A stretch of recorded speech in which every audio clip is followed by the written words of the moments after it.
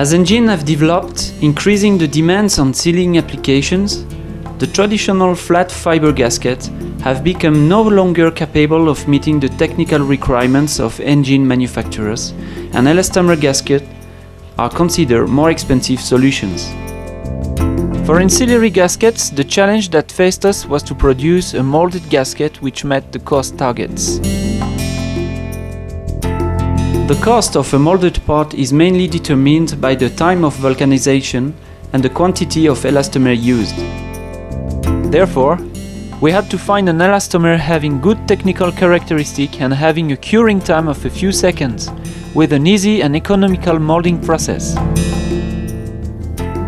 So, the LEM gasket was born, made of a metallic core of zinc-plated steel, coated in selected areas on both sides with silicone with molded in sealing beads.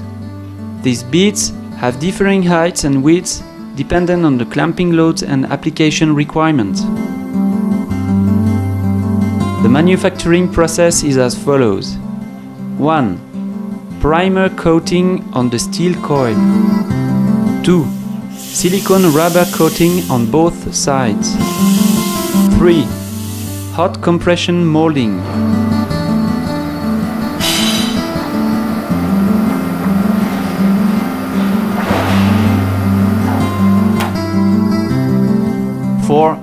Then the part will have to be blanked.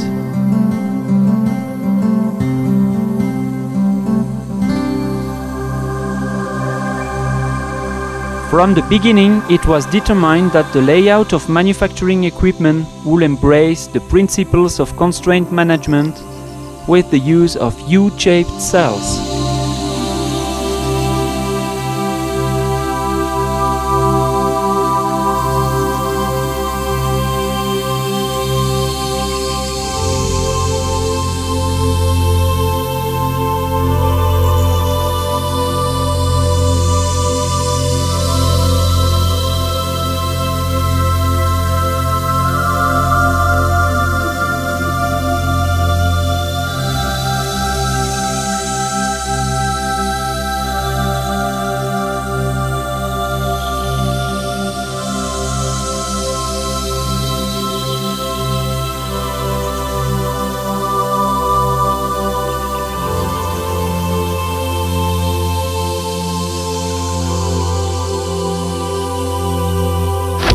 The automation of coating process started simply by using a Cartesian robot.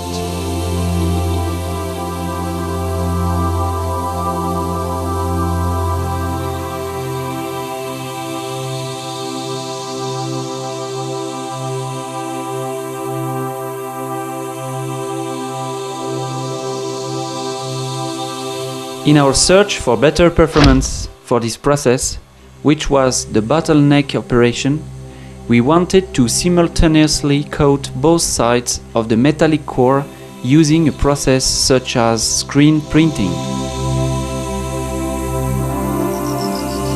This was achieved using a metallic stencil.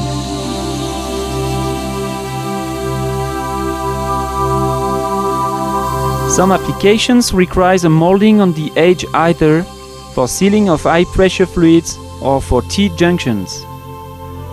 In these cases, the process is different. The metallic core is pre-blanked before the silicone coating and molding operations.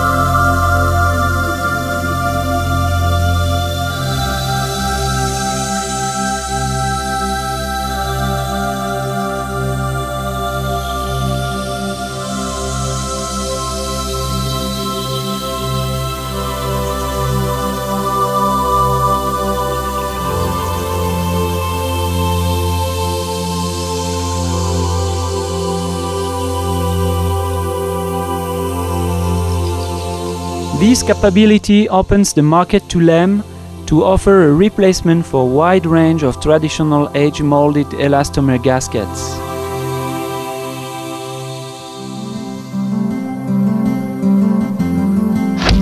In parallel with the U-shaped cell concept, an automated inline manufacturing process provides the faster production rates required for the automotive market.